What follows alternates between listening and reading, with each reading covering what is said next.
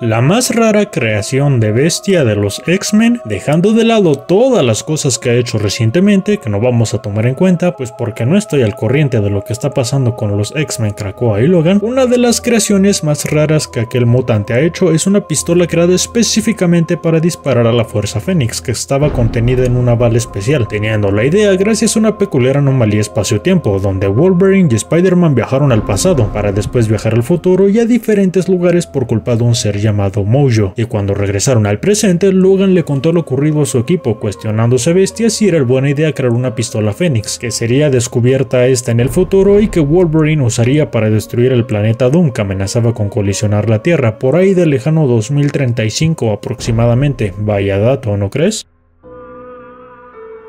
Cuando Thor dañó al dios Null, esto se nos relata en el cómic Venom volumen 4, cuando el dios de los simbiontes le revela sus orígenes a Eddie Brock desde la creación de su primer hijo hasta el punto donde enviaba a los dragones simbiontes por el universo con el objetivo de colonizar planetas. Lamentablemente los dos dragones que habían llegado al planeta Tierra en el siglo VI tuvieron la desventura de enfrentarse contra un joven Thor, quien atacó a ambos oponentes con el poder del trueno, cortando la conexión de Null con sus hijos, causando que estos comenzaran a poseer a anfitriones, corrompiéndose la mente colmena con nociones de honor y nobleza, causando que los simbiontes se rebelaran contra su creador, encarcelándolo en el corazón de aquel mundo llamado desde aquel entonces Clintar, que significa jaula en un antiguo dialecto, deteniendo estos simbiontes los planes de Null por conquistar el universo, negando su oscuro pasado y formando a los agentes del cosmo, un grupo de simbiontes que buscaba la paz donde solo los anfitriones dignos podrían unirse a estos simbiontes. Vaya dato, ¿no crees? ¿Cómo es la Tierra 1 de DC Comics sencillamente es un planeta donde, a diferencia de la Tierra Prime o Tierra principal de aquella casa editorial, en este lugar los héroes más icónicos, desde los miembros de la Liga de la Justicia hasta los jóvenes titanes, todavía no cuentan con la experiencia suficiente que los convertirían en héroes glorificados, llegando a cometer errores mientras hacen del mundo un lugar mejor, aprendiendo de estos y forjando su propia historia en un futuro incierto. Vaya dato, ¿no crees? Deadpool usa el guantelete del infinito. Tan peculiar situación ocurre décadas atrás cuando el titán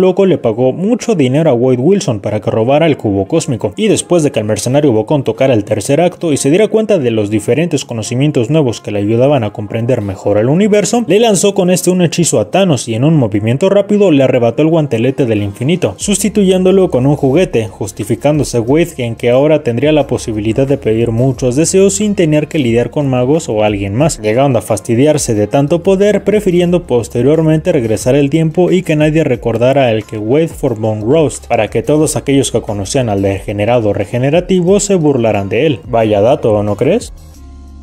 ¿Quién fue el primer simbionte que existió? Depende, porque Venom fue el primero en aparecer en los cómics de Marvel durante el evento Secret Wars de 1984, aunque canónicamente hablando, la Necroespada es el primer simbionte que existió, creado por el dios Null a partir de su primera sombra, cuando la luz de la creación orquestada por los Celestials perturbó la pacífica oscuridad de sus dominios, usando el dios de los simbiontes esta espada para decapitar a un Celestial, dándole forma a Null posteriormente con el fuego del primer creador que aniquiló, quedando All Black atado metafísicamente al cadáver no muerto de aquel celestial decapitado que se convirtió en una grotesca prisión viviente para las almas de los abatidos por la necroespada. Vaya dato, ¿no crees?